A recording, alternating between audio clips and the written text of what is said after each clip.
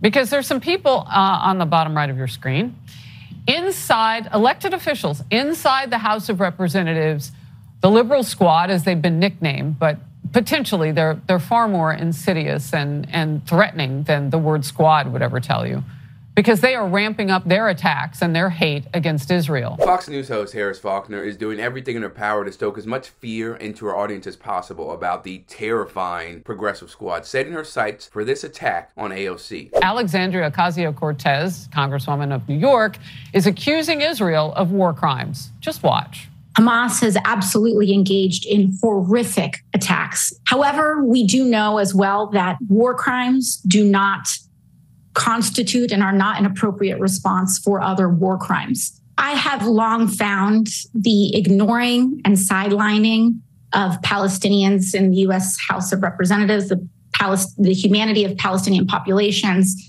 uh, in the five years that I've been in Congress quite Based on all the reports and articles I've read, AOC is 100% correct. Like, yes, what Hamas did was horrific and disgusting, but that does not mean you should respond with more war crimes in terms of the Israeli government and military, where you're sending out all these airstrikes, killing and injuring thousands of Palestinians who have nothing to do with what Hamas did. Nothing to do with that. And even though these comments that they put on there are edited by AOC, they are still congruent with advocating for a viable solution and trying to limit the loss of life on both sides of the conflict. Apparently, though, that can't be or that shouldn't be the correct opinion in this country. Should Israel is the U.S. supporting the hostages for a ceasefire deal?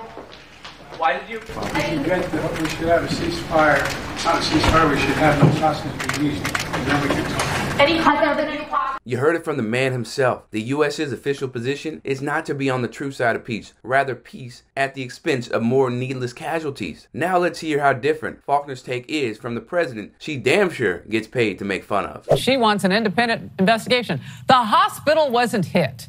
Islamic Jihad hit the parking lot outside the, the hospital. She needs to look at the evidence.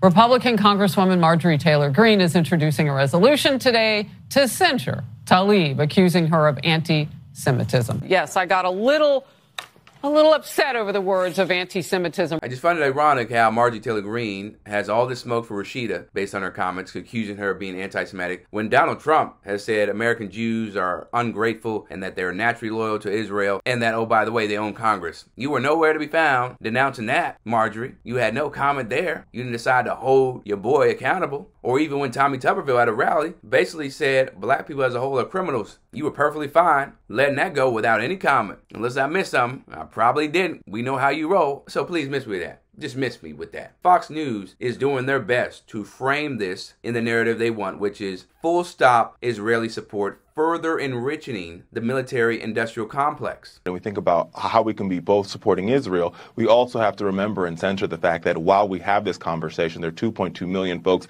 in the Gaza who are not Hamas, they are not terrorists, and their humanity matters as well. And I think you can yeah. center both of those in this conversation. You, you know who should have uh, been thinking about, about, those people? Since those people voted for them? The Hamas terrorists. Yeah, but it's, it's ultimately their responsibility Harris, to have relationships with people around the region to feed uh, their people and keep the lights on. I, I we'll talk that. another day. We've had a lot of breaking news. I've got to scoot. Don't mean to be rude but I have to go. What's scary about all of this is the media directly impacts how the public makes their decisions on different things, especially when it comes to foreign policy issues that are very complex and nuanced. And they know, the media that is, know that individuals in America, by and large, are not going to study up and do their homework on these matters because of the time it takes to be fully informed. And that's why they also have no problem manufacturing consent for policies that are going to help keep the wealthy in power. And that is why speaking out against sending a blank check to Israel can lead to literally legal repercussions in America. Like, no joke. So, again, mass media plays a major, major role in how we see things